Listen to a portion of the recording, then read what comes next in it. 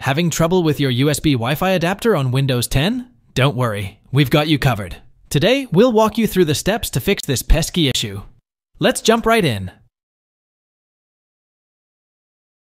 Start by right-clicking the Windows Start button and selecting Settings. Click on Update and Security.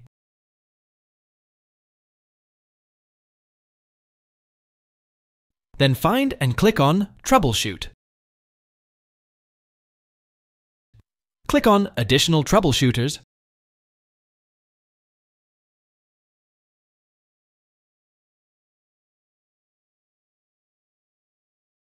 select Network Adapter, and then run the troubleshooter.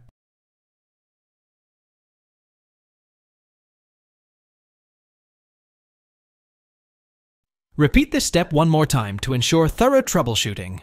Once done, click on Close the Troubleshooter.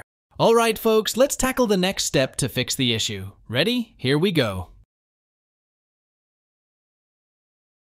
Right-click on the Windows Start button again and select Device Manager.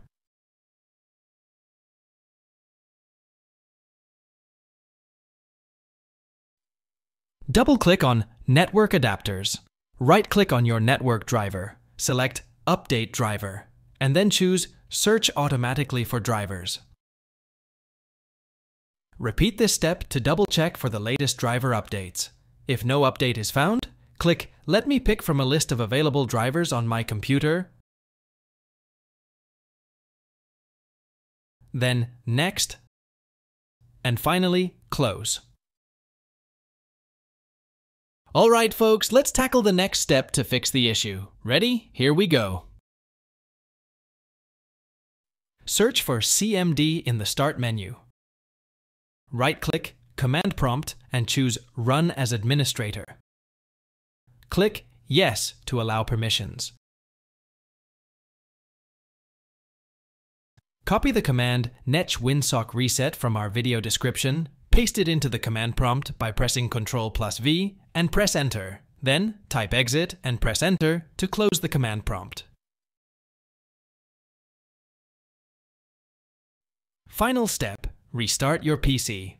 Right-click on the Windows Start button and select Restart to apply all changes and refresh your network settings. If you found this video helpful, don't forget to like and subscribe for more tech tips. Thanks for watching.